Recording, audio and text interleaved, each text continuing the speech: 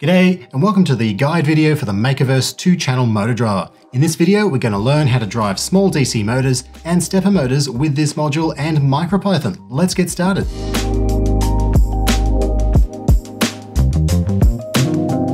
Out of the box, the Makerverse motor driver doesn't come with a screw terminal or header soldered to it. So in order to make connections easy, you can put a screw terminal and a screw header yourself, or if you don't have these things around, you can also solder directly to the module.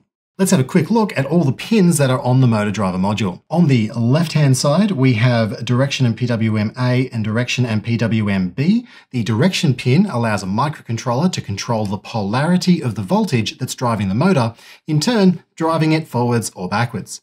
The PWM pins are pulse width modulation pins. These effectively allow a microcontroller to control the speed of the motor that's being driven. We also have a VM and a ground. This is a voltage input for the motor and a ground pin.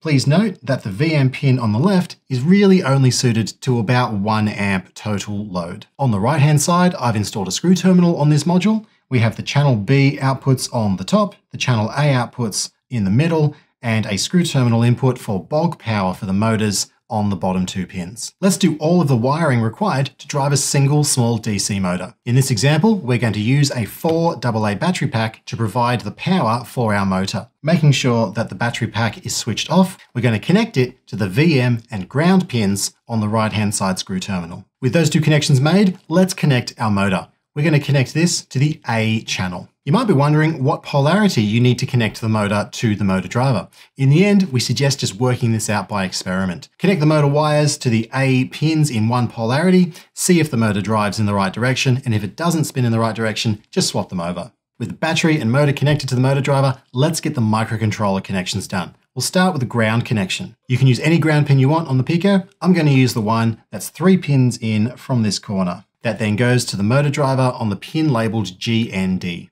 Next, we'll do the PWMA and DIR-A pins. By default, these come from GP0 and GP1 on the Raspberry Pi Pico, respectively.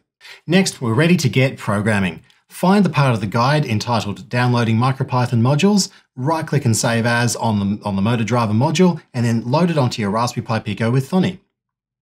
Then, a little bit further down in the guide, you'll find this first example. This is basically a motor equivalent of Hello World. All it does is start the motor spinning so we can make sure everything's wired up correctly. We'll copy that code out of the guide, open up Thonny, paste that code in, and then we will save this as main.py. Pressing Ctrl R will then run this code and the motor will start spinning. But before we do that, don't forget to turn the battery pack on.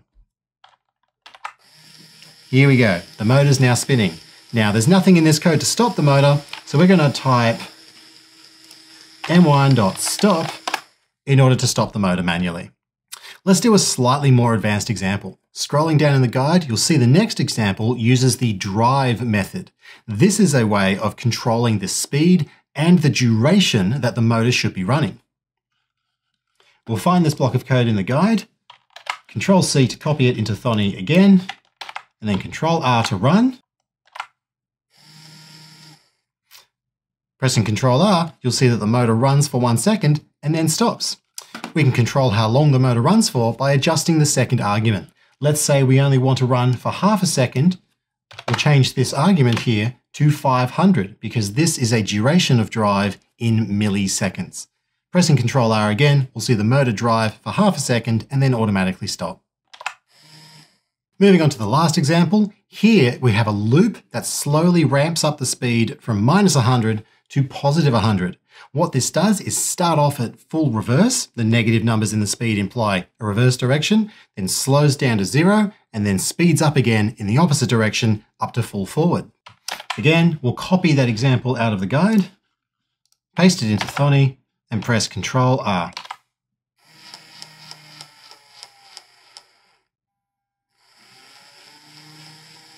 A stop command at the end of the code is what makes it stop once the example is finished running. Next, we're going to move on to driving bipolar stepper motors with the Makerverse 2 channel motor driver. We'll start by unscrewing the terminal block to remove our small DC motor and wiring in the DC stepper motor.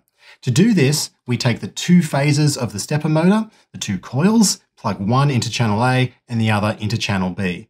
If you don't know what polarity to use, just pick one at random and if it spins the wrong way, swap the polarity on one of the coils and this will reverse the direction of the stepper motor. With our two stepper motor coils wired up to the channels A and B on the motor driver, let's get the extra wiring on the Pico. All we need to do is add a PWM and direction signal from the Pico onto channel B on the motor driver. By default, the PWM-B logic signal comes from GP2 on the Raspberry Pi Pico, and the DIR-B comes from GP3. With all the connections made, we can switch our battery pack back on, and then go to the guide and copy and paste the stepper motor example code. This example covers a couple of the crucial methods in the stepper motor class. The first one is a rotate method.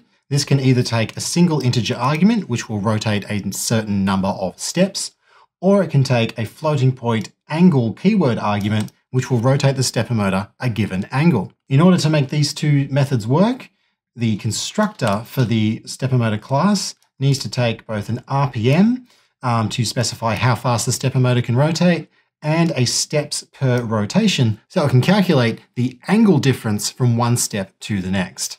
Pressing Ctrl R will see the stepper motor rotate 50 steps in one direction, then 180 degrees in the other direction, before returning to where it started when we started the code.